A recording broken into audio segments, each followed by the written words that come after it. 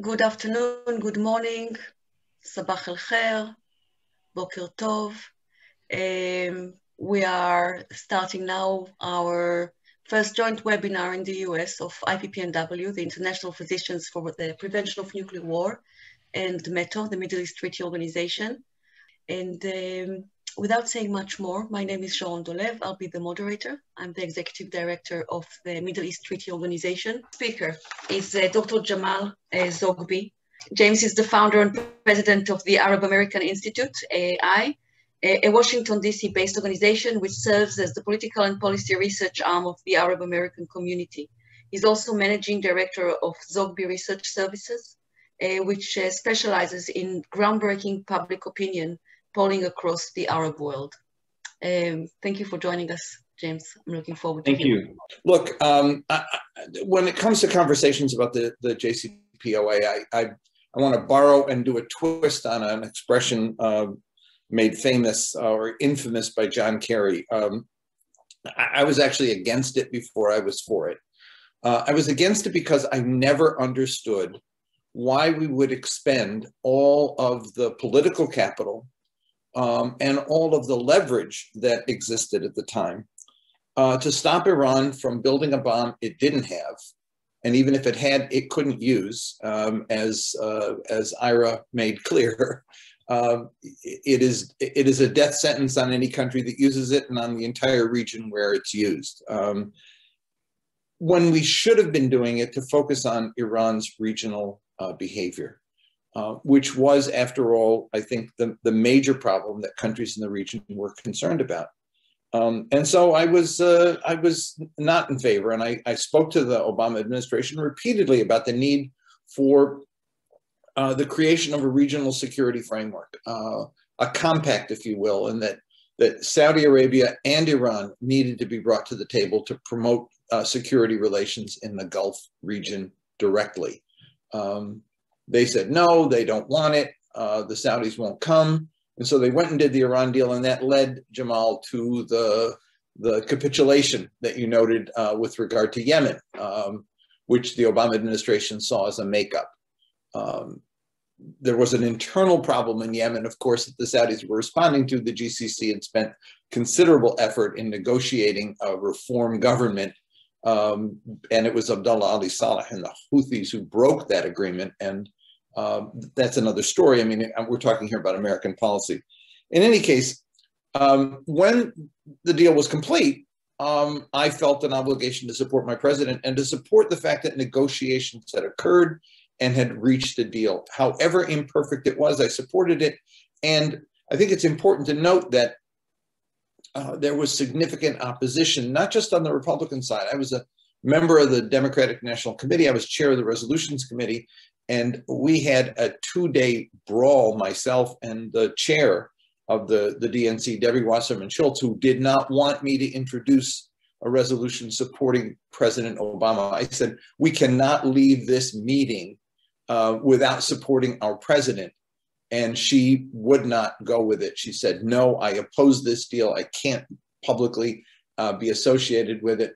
Um, and so we went uh, behind her back, and we got uh, three quarters of the members of the DNC uh, to endorse our position, supporting the president. There was another thing that happened. It wasn't just supporting the president and supporting the concept that negotiated uh, agreements needed to be honored.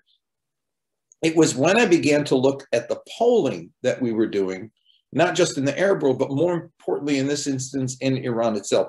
Arab opinion initially supported the agreement. They thought this is a first step, um, and it, it seems to have settled some things down. But more significant and interesting for me was what it did in Iran. Um, we've been tracking Iranian opinion now for a decade.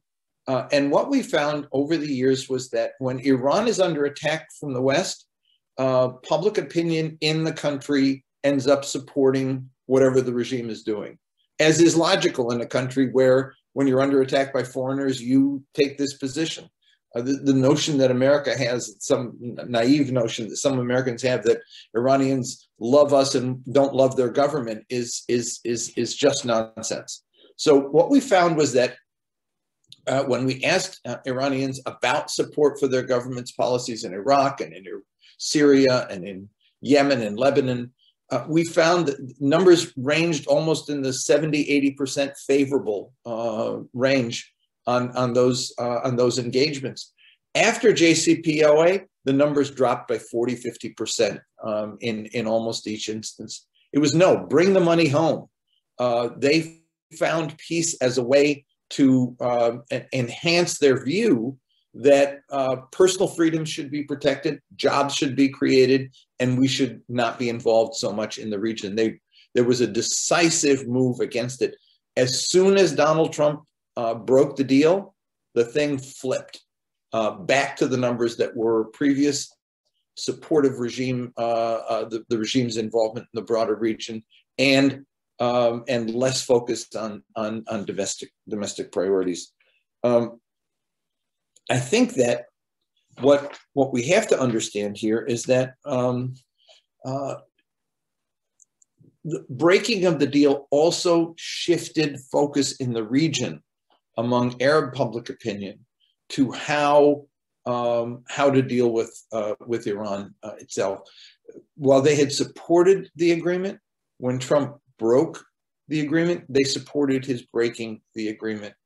Um, they also uh, began to express greater concern about Iran's nuclear program because once he broke the deal and the Iranians said, we're going to accelerate our program, then people became concerned about it. But more significantly, the, the most elevated concern in the region was Iran's involvement in, uh, in Iraq in Lebanon, in Syria, and yes, in, in Yemen as well.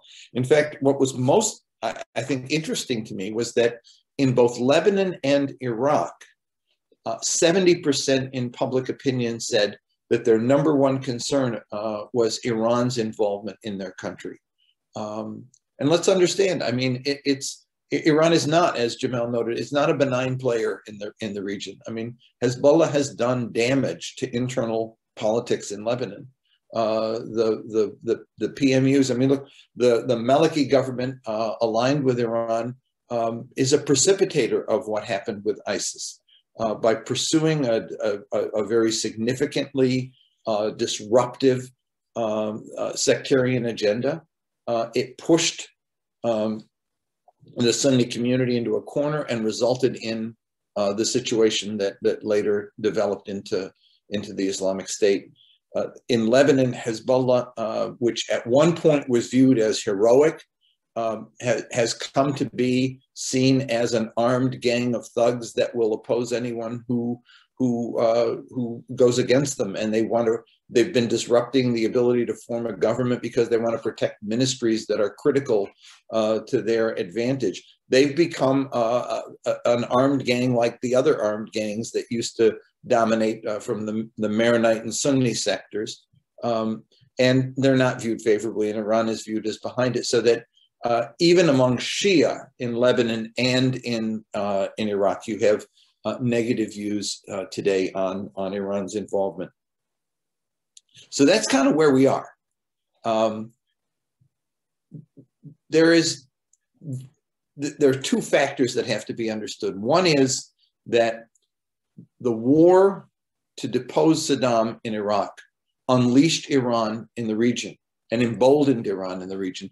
It also so diminished the United States and altered the dynamic in terms of regional politics that today you have no, I mean, we can't talk about the United States as the, the regional superpower. What we have to do is talk about the United States as a player among other players, some of whom are more decisive. Um, there is not a single regional conflict involved in across the Middle East, North Africa, that doesn't involve, in one form or another, Russia and Turkey and Iran and Saudi Arabia and UAE and Egypt, and to some extent the United States and even other players as well. And in different combinations, you have them going at each other so that the ability of the United States to dominate in a situation is limited today by the fact that you have this complex relationship, which is why I've argued that instead of um, focusing again the energy on what I believe is ultimately as dangerous as it is, it's a side issue, the nuclear issue. What we ought to be focusing on is creating a regional security framework, a broader regional security framework that, yes, involves nuclear free zone, that, yes, involves non aggression agreements, that, yes, involves respect for sovereignty of every country, um, and, yes, even goes to promoting regional investment and, um, uh, and trade.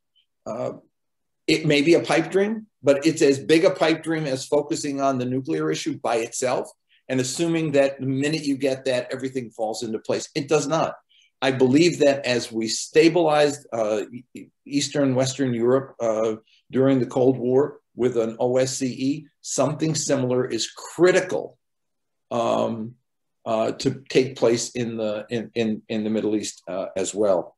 Um, you, you can't resolve uh, issues like uh, Iraq Syria, Lebanon, Yemen, without engaging parties um, and focusing on parties on all the sides. And with instead of focusing on a what I believe ultimately is a side issue, the nuclear question, and ignoring the uh, the the, the conflicts that are currently the focus of people. It's like a patient dying of cancer. Um, in the, the, region today is involved in what I believe is, is a regional world war. It's as significant as any regional war that we've ever seen. Um, and we need to focus on that, which is why I've been arguing that the Biden administration ought to be thinking big.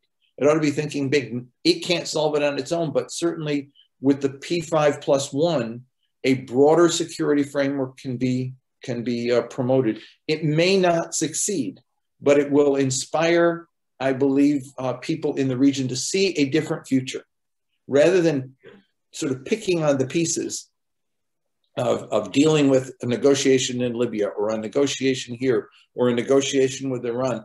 We need to have a broader regional approach that can say to people, there may be a different future for us. The Middle East may be something different. Uh, the essential components are nuclear free, weapons of mass destruction free, and respect for sovereignty and respect for non aggression. Uh, those become critical issues but ultimately, I think uh, you can't solve each problem by itself. You've got to look at the region as a whole. And that is what my contribution to this discussion is. Thank you.